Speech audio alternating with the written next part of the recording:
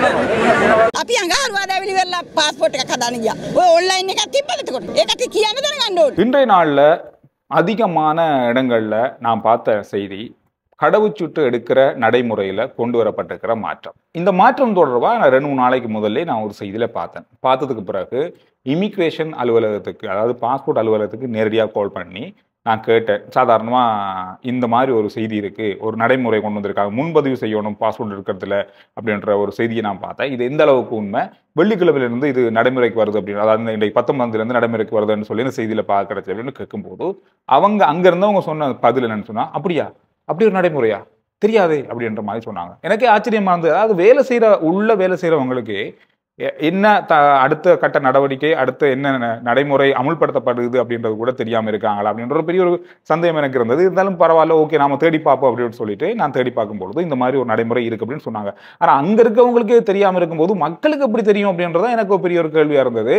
அந்த ஒரு பிரதிபலிப்பு இன்றைய நாளில் எல்லா பாஸ்போர்ட் அலுவலகங்களையும் மக்கள் நிறைஞ்சு வழிந்த காட்சிகள் அங்கே நடந்த கலவரங்களை நாங்கள் பார்க்கக்கூடியதாக இருந்தது. கொழும்புலையும் சரி பிராந்திய அலுவலகங்கள்லையும் சரி இந்த சம்பவம் பதிவாகியிருக்கு.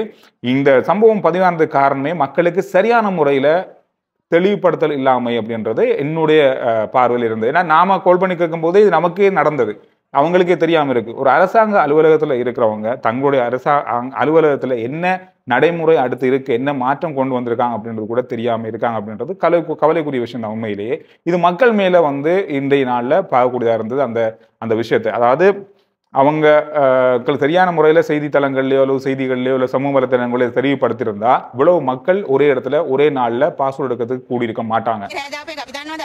අපි දන්නවද අද වෙනකොට? අපි පාන්තර හතර කිලෝමීටර් ආවේ. එතකොටත් අපි දැනගත්තේ නැහැ. ඔන්ලයින් ක්‍රමේ සාර්ථක කරගන්න පුළුවන් හරි විදිහට ක්‍රමවේදීව කරන්න. මේ නාකි මිනිසුන් ලෝක කරන්න බෑ පුතා. පාන්දර දෙකේ ඉඳන් මිනිස්සු ඉන්නවා මෙතන. යාපටේ මඩ කරපු අම්පාරේ ඉඳන් ආපු. අද උදේ කියනවා ඔන්ලයින්. අපි පාන්දර දෙකේ ඉඳන් ඉන්නේ රෑ කියලා උදේ වෙනකොට ඔන්ලයින් දීලා හරිනවද? ඔන්ලයින් පටන් ගත්තම නේනසනේ කියන දවස් දෙක තුනක් හතර පහක් මාසෙ අන්තිමට මොනවද මේ ඔන්ලයින් එක? මේ සතිය අන්තිමට මේ සිකුරා දවස් විතර. අපි අඟහරුවාදැවිලි වෙල්ලා පාස්පෝට් එකක් හදාන්න ගියා. ඔය ඔන්ලයින් එකක් තිබ්බද? ඒක சரி நாங்கள் இந்த பாஸ்போர்ட்டை எப்படி இனி எடுக்க போகிறோம் அப்படின்றத நாம் இனி பார்ப்போம். அதெல்லாம் முடிஞ்ச கதை அப்படின்னு வச்சுக்கொள்ளலாம். இந்த பாஸ்போர்ட் வந்து இனி எடுக்கிறதா இருந்தால் இலங்கையினுடைய கடவுச்சீட்டு புதுசாவோ அல்லது புதுப்பிக்க போகிறீங்களோ அப்படியாக இருந்தால் கூட நீங்கள் இனிமேல் முன்பதிவு செய்யணும். முன்பதிவு செய்து ஒரு தேதியை பெற்றுக்கொள்ளணும் அப்படின்னு சொல்லியிருக்காங்க. இது குடிவரவு குடிவகல் திணைக்களம் உத்தியோகபூர்வமாக அறிவிச்சிருக்க ஒரு செய்தி. அது இன்றைய நாளில் அமலுக்கு வந்திருக்கு. அப்படியானா எப்படி முன்பதிவு செய்கிறது எப்படி நாங்கள் தேதியை பெற்றுக்கொள்கிறோம் அப்படின்ற ஒரு கேள்வி எல்லாருக்கும் இருக்கும். எனக்கு தெரிஞ்ச அளவில் என்னுடைய ஃபோனில் நான் என்னுடைய பேர் முகவரி என்னுடைய ஃபோன் நம்பர் எல்லாத்தையும் போட்டு நான் செய்து எடுத்த ஒரு தகவல் அடிப்படையில் உங்களுக்கு ஒரு ஒரு அளவான பேசிக்கான அதாவது அடிப்படையான ஒரு விஷயத்தை நான் உங்களுக்கு சொல்கிறேன் இது இது மாதிரி தான் வரும். நீங்கள் முயற்சி பண்ணி பார்க்கலாம். இதில் வந்து ஸ்மார்ட் ஃபோன் இல்லாதவங்க ஆன்லைன் பாவிக்க தெரியாதவங்க தெரிஞ்சவங்ககிட்ட கொடுத்தா செய்ய வேண்டியிருக்கு. W W W dot immigration dot GOV dot LK இந்த இணையதளம் இந்த இணையதளத்துக்கு நீங்கள் போகும்போது உங்களுக்கு இப்போ வந்து அதிகமானவங்க பாவிக்கிறாங்க இந்த இணையதளத்தை அதாவது முன்பதிவு செய்கிறதுக்கு அதனால் கொஞ்சம் ஸ்லோவாக இருக்குது பொதுவாக சாதாரணமாக நம்ம அரசு இணையதளங்கள் இந்த மாதிரி தான் இருக்கும். சோதனை ரிசல்ட் எல்லாம் வரும்போது அப்படித்தானே இருக்கும். அந்த மாதிரி தான் இன்றைக்கும் இருந்துச்சு. சுற்றி சுற்றி இருந்துச்சு. நீங்கள் போகும்போது இப்படி பார்த்தீங்கன்னா தெரியும் உங்களுக்கு இந்த மூன்று மொழியிலையும் உங்களுக்கு அதாவது நீங்கள் எந்த மொழியை நீங்கள் பாவிக்க போகிறீங்களோ அந்த மொழியில் நீங்கள் உங்களுக்கு வசதியான மொழியை தெரிவு செய்யலாம். தம் சிங்களம் தமிழ் ஆங்கிலம் இருக்குது அதுக்கு பிறகு போனீங்கன்னா தெரியும் முதல்லே பார்த்தீங்கன்னா முதல் பெட்டியிலே பாருங்கள் ரெஜிஸ்டர் டு அப்ளைன்னு சொல்லி பாஸ்போர்ட் இருக்குது தானே இந்த இதை நீங்கள் கிளிக் பண்ணுங்கள் கிளிக் பண்ணும்போது உங்களுக்கு இந்த மாதிரி ஒரு இடம் வரும். அதாவது சைன்இன் பண்ண சொல்லும். சைன்இன் பண்ணும்போது உங்களுக்கு இந்த ஃபோன் நம்பரை என்ன பண்ண சொல்லுவாங்க. உங்களுடைய ஃபோன் நம்பரை கொடுக்கும்போது ஓடிபி நம்பர் வரும். ஓடிபி நம்பரை நீங்கள் என்ன பண்ணிவிட்டு உள்ளுக்கு போகும்போது இந்த மாதிரி பேர் உங்களுடைய முதல் நேம் கடைசி நேம் அதோட என்ஐசி நம்பர் அதாவது identity card number email address இந்த இமெயில் அட்ரஸ் ஃபோன் நம்பர் திரும்பவும் உங்களுடைய ஃபோன் நம்பர் கன்ஃபார்ம் பண்ணதுக்கு பிறகு இந்த மாதிரி வரும். சக்ஸஸ்ஃபுல்லுன்னு வரும். அதில் ஒரு மெசேஜை நீங்கள் பார்க்கலாம். அப்ளிகேஷன் உங்களுக்கு வந்து எனக்கு நான் போட்டதின்படி இருபத்தி ரெண்டாம் தேதி ஏழாம் மாதம் இருபத்தி ரெண்டாம் தேதி எனக்கு கிடைச்சிருக்கு. இதை வந்து நீங்கள் கண்டினியூ பண்ணி பார்த்த என்ன நடக்கு அப்படின்னு பார்த்தா இதில் நீங்கள் செலக்ட் பண்ணணும். எந்த இடம்னு சொல்லி அதாவது வவுனியாவா அல்லது கொழும்பா எந்தெந்த பிராந்திய அலுவலகங்களுக்கு தானே அங்கே நீங்கள் போகிறீங்களா அப்படின்றத நீங்கள் பார்க்கணும். பாஸ்போர்ட் இருந்துச்சுன்னா அந்த பாஸ்போர்ட் நம்பரை போட்டு கண்டினியூ பண்ணீங்கன்னா சரி இருபத்தி ரெண்டாம் தேதி இந்த தேதி எனக்கு வந்திருக்கு.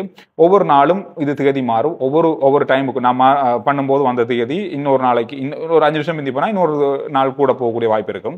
இந்த மாதிரி இந்த திகதி எடுத்துக்கொண்டு தான் நீங்கள் இனிமேல் பாஸ்போர்ட் அலுவலகத்துக்கு பாஸ்போர்ட் புதுசாக எடுக்கிறதா இருந்தாலும் சரி புதுப்பிக்கிறதா இருந்தாலும் சரி ரெண்டுக்குமே ஒரே நடைமுறை தான் நிறைய பேர் கேட்குற ஒரு கேள்வி தான் பாஸ்போர்ட்டை வந்து புதுசாக எடுக்கிறதுக்கு என்ன நடைமுறை இருக்குது புதுப்பிக்கிறதுக்கு என்ன நடைமுறை இருக்குது அப்படின்னு கேட்குறீங்க ஆனால் பாஸ்போர்ட் வந்து என்னதான் புதுப்பிக்கிற பாஸ்போர்ட்டாக இருந்தால் நமக்கு பத்து வருஷம் வழியிலான பாஸ்போர்ட் இருந்து அது முடிவடைஞ்சாலும் கூட புதுசாக பாஸ்வேர்டு எடுக்கிற மாதிரியே ஃபோட்டோஸில் இருந்து எல்லா டாக்குமெண்ட்ஸும் நாங்கள் கொண்டு போகணும். அதுவும் இங்கே இருக்கிற நடைமுறை.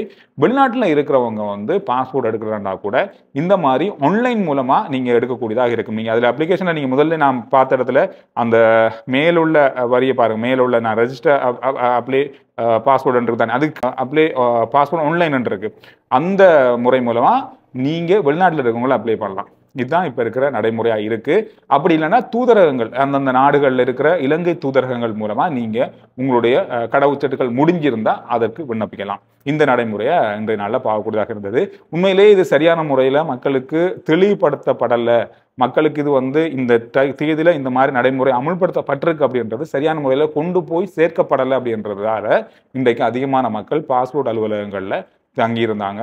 காலையில் ரெண்டு மணிலிருந்து மிகப்பெரிய அளவில் மக்கள் இருந்ததாக சொல்லப்பட்டிருக்கிற செய்திகளில் பா கிடச்சது. எனவே இதை நீங்கள் தவிர்த்து கொள்ளுங்கள் நேரடியாக இனிமேல் பாஸ்போர்ட் அலுவலகத்துக்கு இந்த ஆன்லைன் மூலமான திகதியை எடுத்துகிட்டு போங்க. RJ Chandru report YouTube channel Facebook page ரெண்டையும் ஃபாலோ பண்ணுங்க. அடுத்த வீடியோவில் சந்திக்கிறேன்.